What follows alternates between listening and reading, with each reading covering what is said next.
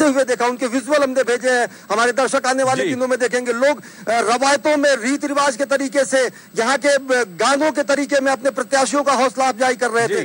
और साथ ही साथ उनको ये उम्मीद दिख रही थी जो वो गा रहे थे मैं बताना चाहूँगा कि यहाँ फूल खिलेगा गुलाब खिलेगा तरक्की होगी। यानी कि एक सकारात्मक दृष्टिकोण है। अगर महिलाएँ घर से निकल कर के तरीके से नाचते हुए देखा उनके